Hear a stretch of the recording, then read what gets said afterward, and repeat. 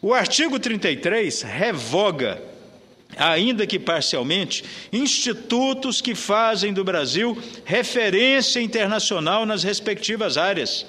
A consultoria legislativa do Senado conclui que esse artigo pretende atribuir à FIFA poderes contratuais absolutamente incompatíveis com o Código de Defesa do Consumidor. O caput confere à FIFA prerrogativas à moda de Gaddafi e Mubarak. Pode cancelar, remarcar, realocar, fazer o que quiser com os jogos e a devolução da importância paga pelos ingressos.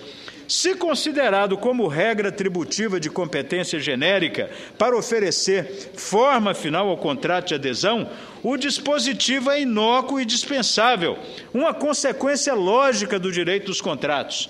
Tomado como cláusula que defere poderes arbitrários ao fornecedor do serviço, viola direito básico do consumidor ao suprimir sua possibilidade de escolha da alternativa que lhe seja mais favorável.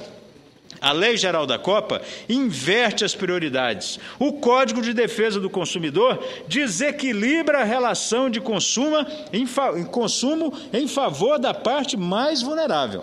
A Lei Geral da Copa põe a garganta do torcedor sob as travas da chuteira da FIFA.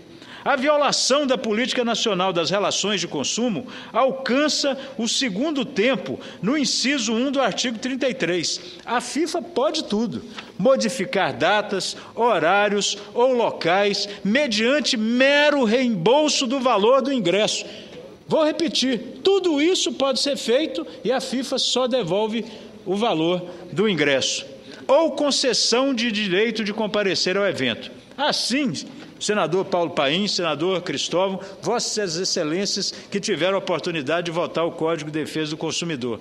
Isso derroga tacitamente o artigo 30 do Código de Defesa do Consumidor, que vincula o fornecedor à publicidade realizada, tornando-a parte integrante do contrato.